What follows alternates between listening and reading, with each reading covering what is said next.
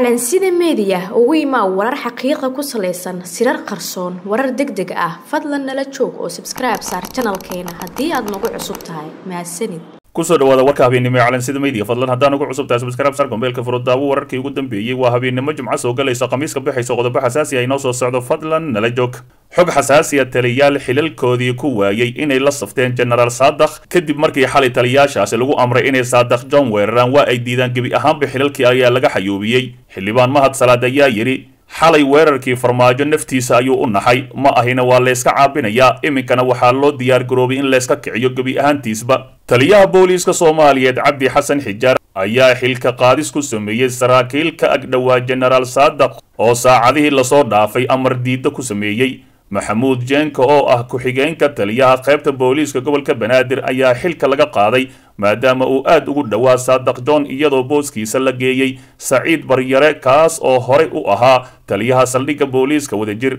saraakiisha xilka laga qaaday oo aan xilal loo magacaabin. Waxaa ka mid ahay taliyihii qaybta galbeedka yuusuf xundubey jimcaale kaas oo lagu eedeeyey in xalay uu la joogay saadaq john maxaa saadaq john ula kulantay xilkii looga qaaday? Qaar kaloo badan ayaa la amray inay weeraraan laakiin waa ay diideen. Saadaq john ayaa xididdo badan ku samaystay magaalada muqdisho iyo saraakiisha booliiska sidoo kale taliyaha booliiska degmada howlwadaag shucayb cabdi maxamuud ayaa isna xilka laga qaaday. Weli wax xil ah looma magacaabin. Taliyihii saldhigga booliiska waa beri maxamed cabduqaadir mooshin ayaa isna xilka qaadis la kulmay mana jirin xil loo magacaabay axmed cabdilaahi baashane calooley oo ahaa taliyaha booliiska shibis ayaa loo bedelay saldhigga booliiska waa beri farxaan jaraay oo ka mid ahaa saraakiisha saldhigga yaakshid ayaa laga dhigay taliyaha cusub ee saldhigga booliiska wadajir. Taliyaha cusub ee saldhigga booliiska degmada shibis waxaa loo magacaabay farxaan axmed xasan booskaasi waxaa horey u joogay taliya axmed baashane. Najiib carab oo ahaa taliyaha booliiska degmada dayneyle ayaa loo wareejiyey saldhigga booliiska howlwadaag iyadoo booska qaybta galbeed loo magacaabay cali goof isagoo bedelay yuusuf xundubey mooshin iyo shucayb oo waaberi iyo howlwadaag xilalka ay ka hayeen laga qaaday. Waxa iyagu loo haystaa kiiskii dilkii guddoomiyihii degmada hodan cabdixakiim dhagajoon inay abaabuleen. Si kastaba ha ahaatee dadkaani xilalka laga kala qaaday ayaa waxa ay diideen in ay weeraraan saadaq john taliyahoodii hore islamarkaasina gebi ahaan xilalkii laga qaaday xildhibaan mahad salaad ayaa yidhi duulaankii farmaajo iyo kooxdiisa xalay ku soo qaadeen xaafadda shiirkole wadahadal laguma dhammaynin ee tabarta ayaa u daristay. Kuwa leh waan waan iyo wadahadal ayaan wax ku dhammaynay waa koox farmaajo u shaqaynaysa oo guushiina xaqiraya. Goobayana ceebta farmaajo xalay ku dhacday sidii ay ugu mayri lahaayeen. Farmaajo isagaa laga waayey walaalow sharciga iyo dowladnimada dhowr qabqabta iyo colaadda aad hurinaysana jooji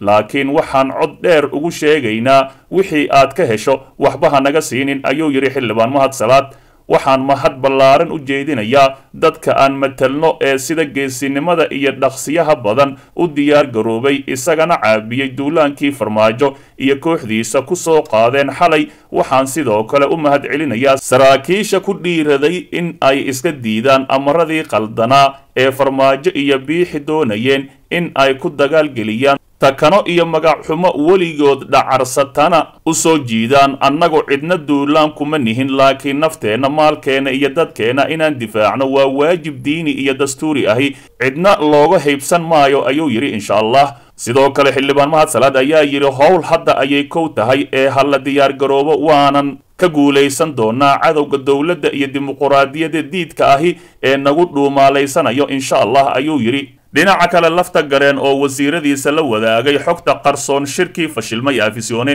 madaxweynaha dowlad goboleedka koonfur galbeed mudane cabdicasiis xasan maxamed lafta gareen ayaa shir guddoomiyey shirka golaha wasiirada dowlad goboleedka koonfur galbeed oo toddobaadkan warbixin looga dhagaystay wasiirada wasaaradda amniga warfaafinta waxbarashada iyo dastuurka. Wasiirka wasaaradda amniga guud ee dowlad goboleedka koonfur galbeed mudane isaaq cali subag oo ka warbixiyey xaaladda amniga deegaanada koonfur galbeed ayaa sheegay in amniga uu yahay mid wanaagsan ciidanka xoogga dalka iyo kuwa gaarka ee dowlad goboleedka koonfur galbeed ay wadaan howlgallo lagu sugayo amniga. Wasiirada wasaaradda warfaafinta waxbarashada iyo dastuurka ayaa sidoo kale ka warbixiyey howlaha shaqo ee wasaaradda iyo waxyaabaha u qabsoomay madaxweynaha dowlad goboleedka koonfur galbeed cabdicasiis xasan maxamed lafdagareen ayaa golaha wasiirada ugu mahadceliyey dadaalkooda ku aadan sida ay uga go-an tahay sidii si cadaalad ahi ay ugu adeegi lahaayeen shacabka ku nool deegaanada koonfur galbeed waxaana uu golaha wasiirada warbixin ka siiyey shirkii arrimaha doorashooyinka ugu qayb galay magaalada muqdisho. Waxa uu sheegay in axmed madoobe iyo saciidani ay ka dambeeyeen fashilkii ku yimid shirkii afisone iyagoona muujiyey in hagardaamayn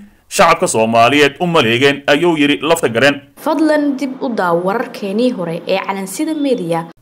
war deg dega xasan sheekh maxamuud iyo sheekh shariif sheekh axmed oo u guuraya xaafado cusub ee ka tirsan magaalada muqdisho islamarkaasina difaac culuska galaya haddii xaaladda muqdisho ay soo xumaato oo faraha laysla galo dagaal sokeeye madaxweynihii hore ee soomaaliya xasan sheekh maxamuud ayaa saaka u guuray xarun uu ka samaystay degmada kaaraan gaar ahaan aagga mirinaayo oo ku taalla waqooyi bari ee muqdisho islamarkaasina deris la ah gobolka shabeellada dhexe. Warar kale oo lagu kalsoon yahay ayaa xaqiijinaya in madaxweynihii hore sheekh shariif sheekh axmed uu dhankiisa xarun ka samaystay degmada yaakshid gaar ahaan xaafadda uu ka soo jeedo ee c c. Islamarkaasina la filayo inuu halkaasi u guuro ra'iisul wasaarihii hore ee soomaaliya xasan cali khayre ayaa isna isu diyaarinaya inuu isla maanta u guuro degmada dayneyle halka musharax cabdiraxmaan cabdishakuur warsame cabduqaadir cosoble iyo daahir geelle ay ku sugnaan doonaan deegaanadooda ku xeeran garoonka diyaaradaha aadan cadde wararkaan helayno ayaa sheegaya in musharaxiinta mucaaradka ahi ay u diyaar garoobeen tallaabo militari oo ka dhan ahay farmaajo. Haddii xalka beesha caalamka uu meesha ka baxo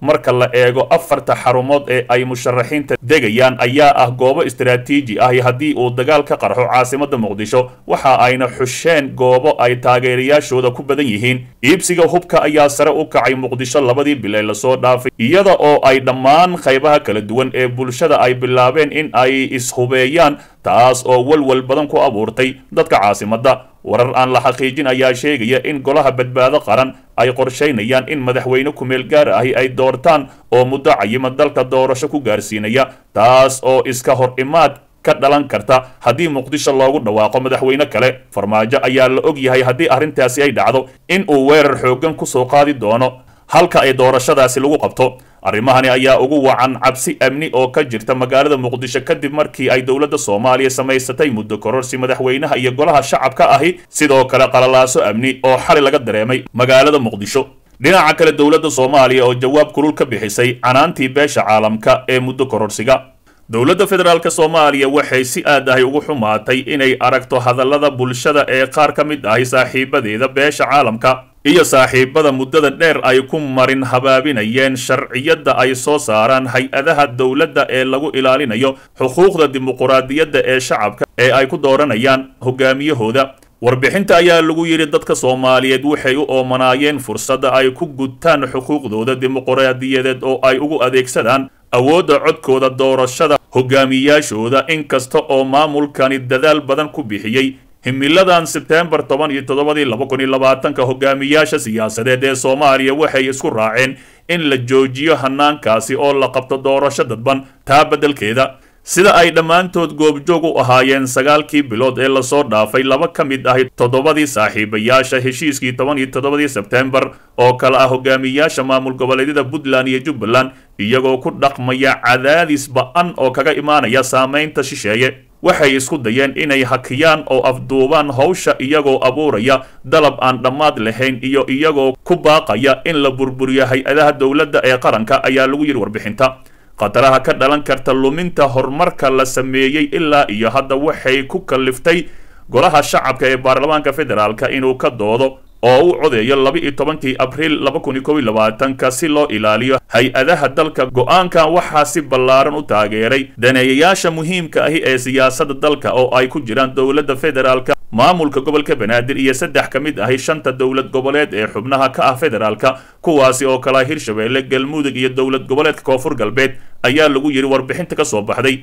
Galmudug ayay ilaa iminka warbixinta ku darsadeen laakiin galmudug si cad looguma hayo in ay taageertay go'aankaasi. Sida ku cad qodobka afartan iyo toddobaad ee dastuurka ku-meel gaarka ah ee soomaaliya golaha shacabka ee baarlamaanka federaalk soomaaliya wuxuu awood u leeyahay inuu soo saaro sharciyo gaar ahi oo qeexaya xeerka quseeya doorashooyinka heer federaal sidaa daraaddeed sharciga uu soo ansixiyey golaha shacabka ee baarlamaanka federaalk laba iyo tobankii abriil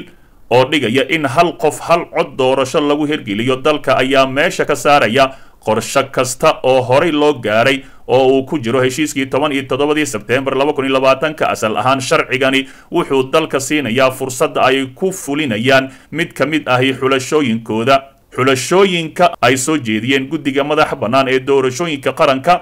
oo horey u soo saaray dhowr fursadood oo la fulin karo oo ay ku jiraan qariidad lagu dhammaystirayo doorashooyinka saddex iyo toban bilood gudahood inkasta oo aan ka mahad celinno walaacyada saaxiibadeen caalamka ee ku aadan xasiloonida iyo nabadgelyada soomaaliya haddana waa wax laga xumaado in markhaati laga noqdo. U ololeynta mabaadi'da dimuqraadiyadda oo ka gaabinaysa ayaa warbixinta lagu soo gebagabeeyey ee dowladda federaalk soomaaliya ugu jawaabayso beesha caalamka. Dhegaystow ogow haddaadan xalka qayb ka noqon waxaad qayb ka tahay dhibaatada dalka calansida meediya ugu imaa warar xaqiiqa ku salaysan sirar qarsoon warar deg deg ah. Fadlan nala joog oo sabskribe saar janalkeena haddii aad nagu cusub tahay. Mahadsanid